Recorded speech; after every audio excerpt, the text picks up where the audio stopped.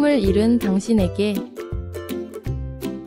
꿈을 잃은 사람에게 가장 중요한 것은 다시 꿈을 꾸는 법을 배우는 것이다. 꿈을 포기하는 순간 성공에 대한 가능성도 함께 사라진다. 계속해서 꿈에 도전하자. 꿈은 현실로 이끄는 첫 번째 단계다. 그래서 절대로 포기하지 말아야 한다. 당신의 꿈은 세상에 필요한 것일 수도 있다. 자신의 열정과 노력으로 그것을 실현시켜보자. 가장 위대한 모험은 자신의 꿈을 추구하는 것이다. 꿈을 잃은 당신에게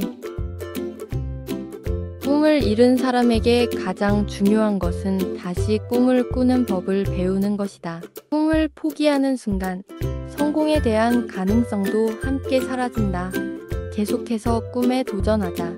꿈은 현실로 이끄는 첫 번째 단계다. 그래서 절대로 포기하지 말아야 한다. 당신의 꿈은 세상에 필요한 것일 수도 있다. 자신의 열정과 노력으로 그것을 실현시켜보자. 가장 위대한 모험은 자신의 꿈을 추구하는 것이다. 꿈을 잃은 당신에게 꿈을 잃은 사람에게 가장 중요한 것은 다시 꿈을 꾸는 법을 배우는 것이다. 꿈을 포기하는 순간 성공에 대한 가능성도 함께 사라진다. 계속해서 꿈에 도전하자. 꿈은 현실로 이끄는 첫 번째 단계다. 그래서 절대로 포기하지 말아야 한다. 당신의 꿈은 세상에 필요한 것일 수도 있다. 자신의 열정과 노력으로 그것을 실현시켜보자.